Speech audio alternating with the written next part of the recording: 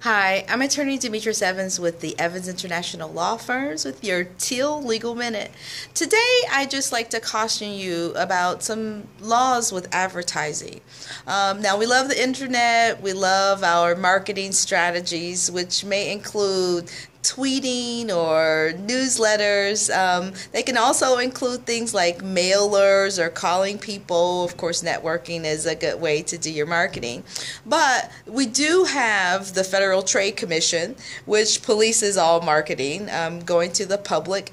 And some of the basic laws just really are you really have to tell the truth. You cannot advertise in a way that would deceive people. Um, that's not the purpose of it. The purpose of advertising is to promote, to make sure that people know that you, as um, a service provider, or that your product is available, but you can't mislead people or deceive them. Um, there are some industry standards, so very specific to different industries, like in finance, there are specific things that you can do when you have a product, a retail product. There are specific tags that you have to have on, and you really have to know what those standards are. Um, by now you may know that you cannot just email people through Infusionsoft or MailChimps or any of those types of newsletter email marketing campaigns if they have not told you to put them on your list. Uh, so you ask people whether or not they'd like to be on.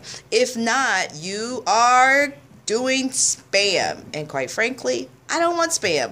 Uh, I have a lot of emails, so be considerate when you put people on email list um, for Infusionsoft. Um, one of the other things is telemarketing. You want to be very careful about what you say, uh, depending on if you're a for-profit or a non-for-profit uh, business. But when you're calling people, there are certain times, there are certain things you can say, depending on what you're asking them to do. There are certain do not call lists, uh, no matter where you buy them, that you are not allowed to call so just be um, just be mindful of it. And of course have fun but just make sure that who you're connecting with eh, they really want to connect with you and you're telling them the, the truth. Have evidence to back it up. Alrighty this is demetrius evans with your TEIL legal minute at teilfirms.com where excellence matters